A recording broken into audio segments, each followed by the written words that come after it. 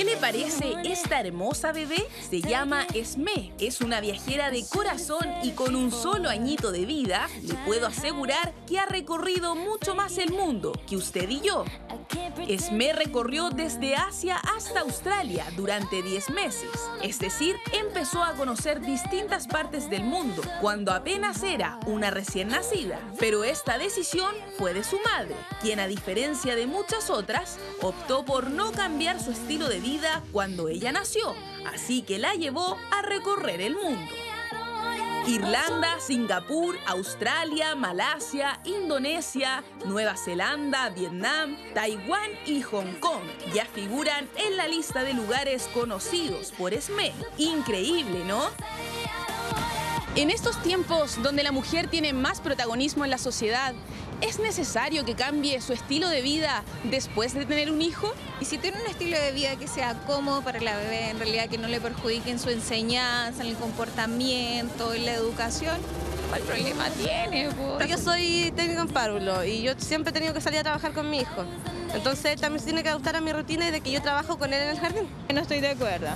Me gustaría de que estuviera estable la niña para que pudiera hacer su crecimiento y su desarrollo estable en el sitio de su educación. Es una opción muy personal. Yo soy mamá de dos hijos y yo me tuve que adaptar a ellos cuando eran chicos. Con la llegada de un hijo, las madres no pueden disponer de tanto tiempo libre, pues el cuidado de un bebé es demandante. Ellos son completamente dependientes de sus padres, que deben estar atentos a sus necesidades. Por eso, a las mamás se les hace más difícil continuar con el estilo de vida que llevaban antes. ¿Cuántas de ellas se atreven a cambiar esta realidad? No, no atrevería. Esperaría de que ellos culminaran sus estudios sin interrumpírselo. La maternidad ya tiene que adaptarse como a nuevas necesidades. O sea, la mujer ahora tiene un montón de opciones, no solo lo tradicional, quedarse en la casa. Yo creo que si tuviera solamente la porotita que viene en camino, no tengo ningún problema. Pues, obvio que sí, pues ya hago todo, todo el tema, oye, hay que vivir. Yo creo que vivir, viajar, disfrutar es lo mejor. Sí, yo creo que sí. O sea, yo adapto a la rutina a mi hijo. ¿Y usted se motiva a seguir el ejemplo de esta madre viajera? ¿Está de acuerdo con que sus hijos sean los que se adapten a su estilo de vida?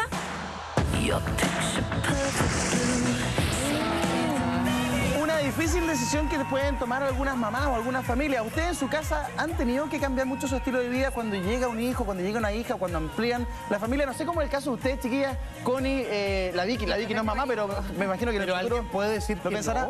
Obvio que cambia. Por supuesto, yo también creo que cambia, pero no sé cómo lo hace la Connie, por ejemplo. No, es que yo creo que algo súper personal, que finalmente como que yo no soy nadie para decirle a esta chica que dijo, yo no voy a cambiar mi estilo de vida, voy a llevar a mi hijo a pasear por el mundo. Creo que es algo que te nace finalmente. Entonces lo que te nace finalmente es válido, independiente que yo esté de acuerdo como la Julia lo hace o que la Julia esté de acuerdo conmigo. Creo que no existen recetas para eso. Es solamente sentirse cómoda con el nuevo rol que uno está comenzando. Entonces si es que tú te sientes cómoda un poco postergándote, ok, bienvenido sea. Y si tú no te sientes cómoda postergándote, entonces incluye a tu hijo en esta nueva, en, tu nueva vida como madre. Pero, pero, pero en estricto rigor eh, es una mentira impracticable. Por ejemplo, si mi estilo de vida incluye que los jueves tengo junta con las amigas, no. por ejemplo, está lloviendo y voy a un lugar donde fuman en la terraza, ya no va. Así, no puedo con la guagua. Claro, claro. Pero vas amoldando, porque, por ejemplo, mi hermana tiene un poco esa filosofía y ella igual va los jueves y va con su guagua. Entonces, yo creo que hoy día cada vez nos estamos postergando menos por el hecho de ser madre. Claro. Pero eso, como que eh, yo creo que hace 20 años un poco satanizaba. Lo que debiera decir es pasar los roles, por ejemplo, a su pareja también. Compartir, no pasar los roles. Mira, Paz desde su casa nos escribe y nos cuenta lo siguiente.